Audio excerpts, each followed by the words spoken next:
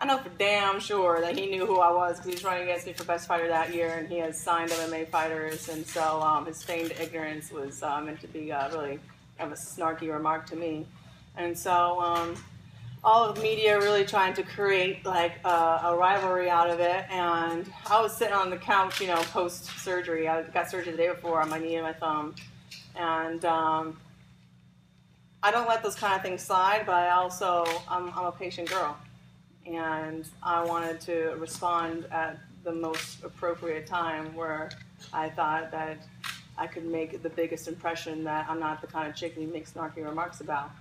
And so I waited a whole year to say something. And you know what? If I didn't win Best Fighter this year, I would have waited two years, or I would have waited three years. I would have waited for the exact time so that I could have said that.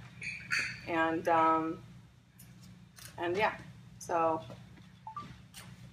everyone seems to have uh, picked it up, even non-boxing or sports uh, uh, outlets, uh, Newsweek, Rolling Stone. Did you think that that Mayweather comment would get such a reaction today? Yeah, I thought I'd get a big reaction. And I got a fight to sell, so great timing, huh? I'm not dumb. so you show a page on his book? well, you know, I don't think it's his book, but I mean, might have added a couple chapters, kind of like Frodo put on to Bilbo, but I don't think he started the book. Has there been any reaction from his camp? No, I mean, I don't really know what he could say, but I'd be interested. But not surprised if I didn't hear anything at all. So.